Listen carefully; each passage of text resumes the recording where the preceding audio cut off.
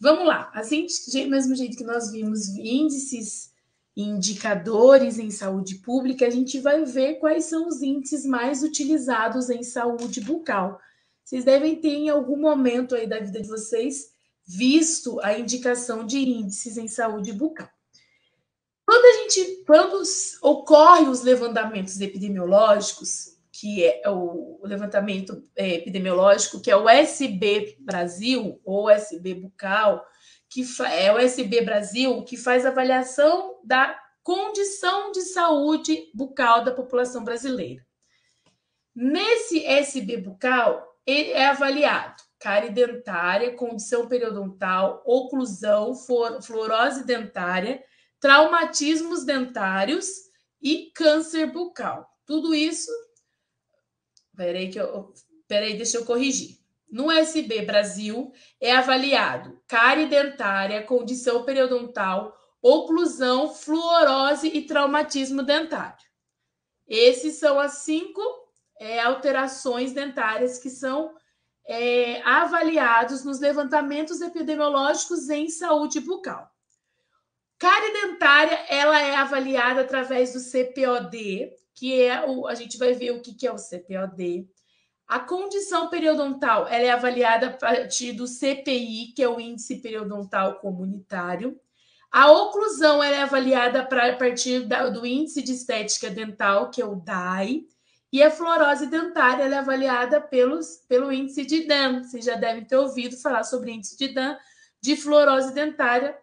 Não sei se isso está no edital, mas provavelmente, se tiver, vocês vão aprender isso lá em cariologia, tá? Esses são os principais índices de saúde bucal avaliados no, nos levantamentos epidemiológicos, ok?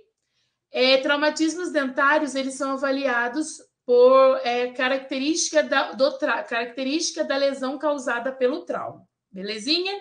Que é mais um dos índices, é mais um dos itens avaliados no SB Brasil. CPOD, já devem ter ouvido falar do CPOD por aí, né? CPOD é o índice master indicado pela Organização Mundial de Saúde para avaliação dos índices de cárie. O CPOD, tudo maiúsculo, é o índice que mede o ataque da cárie dental à dentição permanente. C de cariado, P de perdido, onde se exclui os dentes extraídos e os dentes com extração indicada, O de obturado e o D de dente, sempre quando eu tenho um traço e a indicação, por exemplo, do D, quer dizer que o que está sendo avaliado naquele, naquele item é o dente. Ele indica a ocorrência de dentes perdidos e obturados, ou seja, a história passada da experiência de cárie daquele indivíduo, já a ocorrência de cariados e com extração indicada representam a história presente.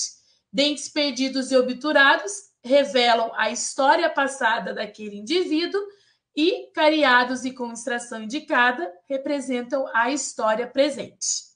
O COD minúsculo, ele indica é a correspondente do CPOD na dentição decídua, sendo que neste item, neste índice, se inclui apenas os dentes cariados, o E, que é a extração indicada, uma vez que é difícil de separar de forma confiável os de dentes perdidos por cárie e os dentes perdidos por processo próprio de esfoliação. E o O, neste índice de obturados. Beleza? CPOD e COD, mais fácil, né? Nossa rotina já temos conhecimento desses índices. O CPOS é um índice que mede a ocorrência de cárie só que ao invés de ser é, de dente, como no CPOD, o CPOS avalia a ocorrência de cárie na superfície. Olha só, é um índice que mede a ocorrência de cárie, tendo como unidade de medida a superfície. A unidade de medida do CPOD é o dente. A unidade de medida do CPOS é a superfície dentária. Dessa forma, nos dentes anteriores de canino a canino, temos quatro superfícies e nos dentes posteriores de pré-molar a molar temos cinco superfícies. Este índice é utilizado em áreas de baixa prevalência de cárie em decorrência de sua sensibilidade. Qual é o padrão ouro para avaliação do índice de cárie. Padrão ouro para avaliação do índice de cárie recomendado pela Organização Mundial de Saúde é o CPOD. Não se esqueçam disso. COS é o correspondente do CPOS na dentição decídua e considera-se apenas os dentes cariados com extração indicada e os obturados. Não se consideram os perdidos, pois é difícil verificar a mesma coisa lá do CPOD e no, do COE, CE, CEOD de CPOD da, dos dentes é, descidos, quando não consegue identificar se o dente foi perdido por cárie ou pelo processo de esfoliação. Índice de higiene oral simplificado ou green e vermelho é a mesma coisa se aparecer para você. Índice de higiene oral simplificado ou green e vermelho é a mesma coisa. Ele verifica a existência de placa ou de tártaro na superfície dos, de, dos elementos dentários. 11, 31, 16 e 26, vestibular do 11, 31, 16 e 26 e na lingual do 36 e 46. Green vermelho, ele avalia o quê? Ele avalia, ele é um índice periodontal, CPOD, COS, CPOD, CO, COD, CPOS é sempre de dente. Aqui, ó, índice de higiene oral simplificado, eu vou avaliar doença periodontal, existência, presença, existência de placa ou tártaro.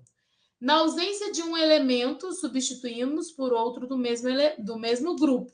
Apenas os elementos totalmente erupcionados são considerados. De novo, green vermelho ou índice de higiene oral simplificado, ele avalia saúde bucal, ele avalia doença periodontal, presença ou ausência de placa e tártaro como é que é avaliado? Vestibular do 11, 31, 16 e 36 e lingual do 36 e 46.